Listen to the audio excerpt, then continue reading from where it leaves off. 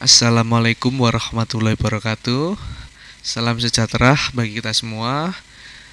Yang terhormat Bapak Ibu Dewan Juri ME Award 2021. Perkenalkan, nama saya Dian Rahmat Maulana.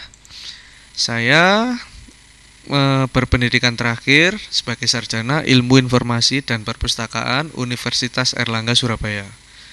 Tempat dan tanggal lahir saya berada di Lamongan, 28 Juli 1996. Saya mempunyai job desk sebagai pustakawan di SMA Muhammadiyah 10 GKB Gresik. Kemudian saya beralamatkan di Jalan Dr. Wahidin Sudiro Husodo nomor 44 Lamongan. Motivasi menjadi tenaga kependidikan yang berkonsep literasi, yaitu menanamkan kepedulian terhadap pentingnya informasi, mengenali informasi, dan menggali informasi dengan sumber-sumber yang valid kepada siswa yang berguna di kemudian hari.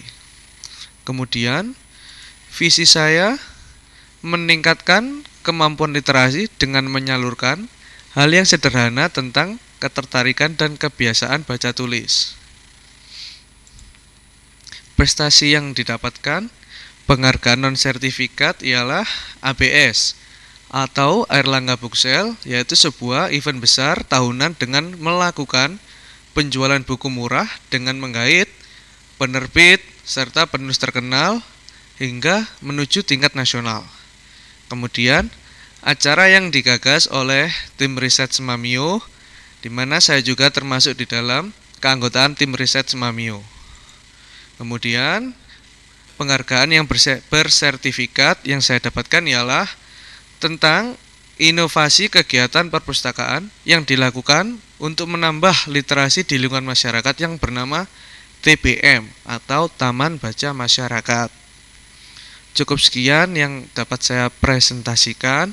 Kurang lebihnya saya mohon maaf bila ada salah kata, salah ucap. Assalamualaikum warahmatullahi wabarakatuh.